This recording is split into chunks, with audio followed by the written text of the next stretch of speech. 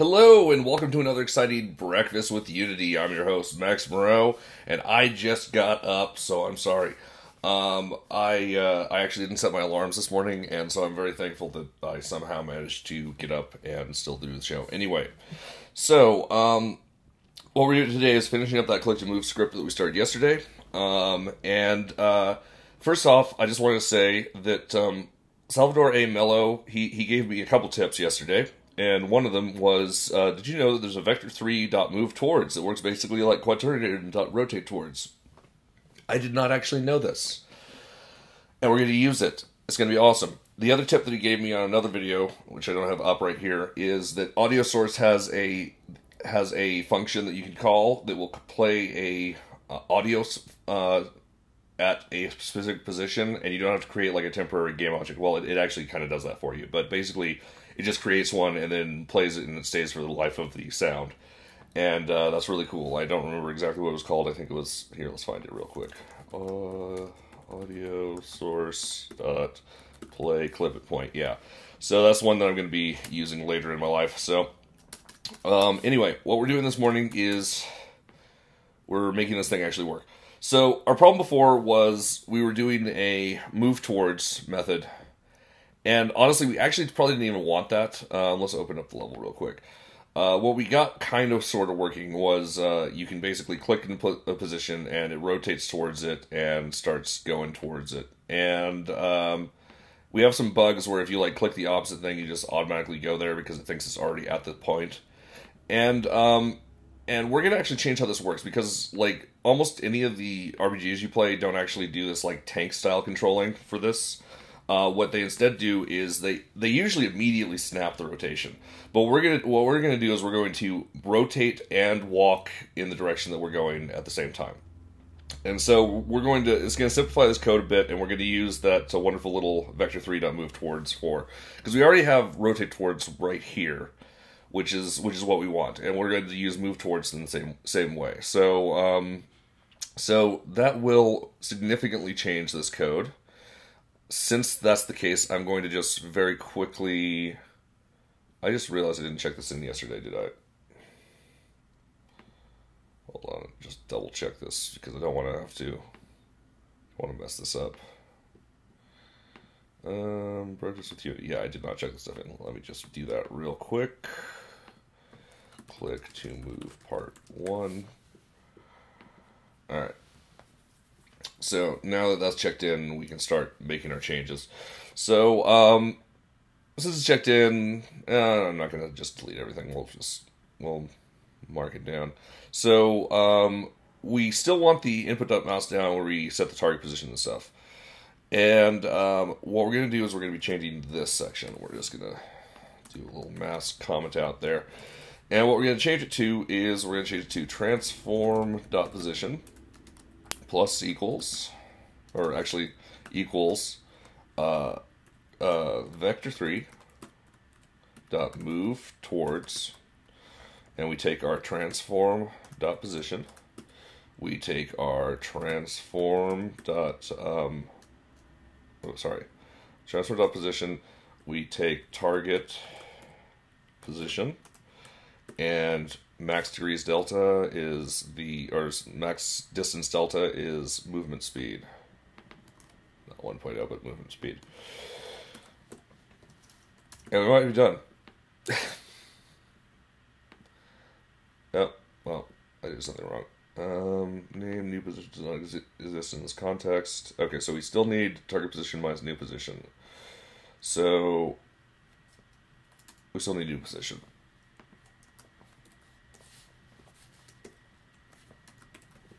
one of those keys.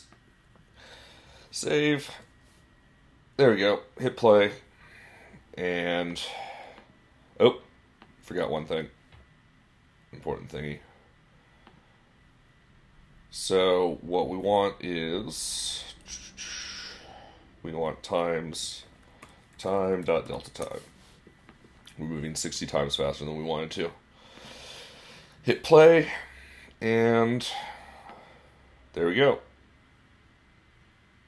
So you see that it goes to the location and then, um, it, and while you're going, it rotates. So um, what we're going to do is we're going to make it a little bit less slidey um, just by changing the values here. We're going to go to the player here and let's adjust them so that they have three movement speed is fine, but let's make the rotation speed much higher.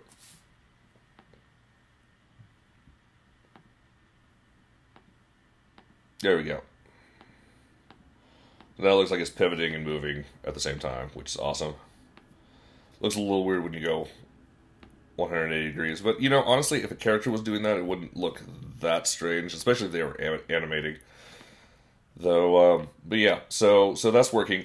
Now we still have this little problem. Um, if we get to a, a location, it just starts spewing out look rotation viewing vector is zero, and so uh, what that means is we're trying to view in a direction that has a zero length, and so it doesn't know what to do at that point. So we're just going to put a final if statement if. To do target position minus new position. Actually, let's do this as a separate thing. Uh, vector 3 um, uh, look direction equals target position minus new position we're going to grab this look direction and we're going to go if look direction does not equal, or look direction dot magnitude does not equal zero. And actually, since we just care about the zero, we can actually do square magnitude here. Dot square magnitude. And in that case, we do this.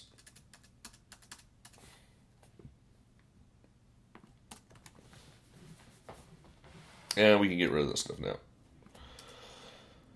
So, and because we called this look direction, we can now put this in this position. Save us one more, one more uh, subtraction. Not that subtractions are extremely expensive, but you know, it's just one one less thing. There we go, and we should no longer get the viewing angle is zero thing. All right. So it's been eight minutes. Usually the shows are around 15. Do I dig myself into a hole and do some more stuff? Or do we just, uh, or do we just call this a day?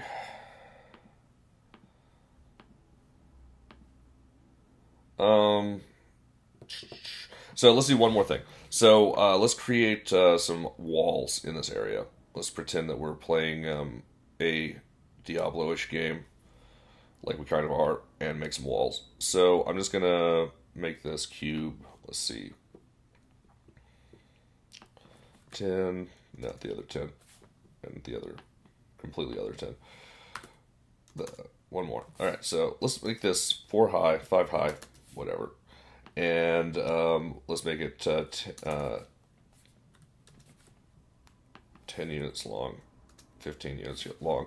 And let's uh, duplicate this and put it on the other side and duplicate it again and rotate it. And just kind of box in the, the arena here.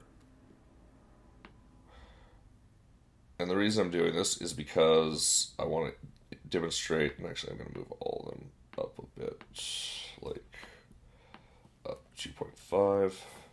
All right, so we've got a bunch of walls here. If we hit play, so our problem here is, and actually this is not the best angle. Let me let me let's adjust our camera a little bit more. So we're going to pull the camera back.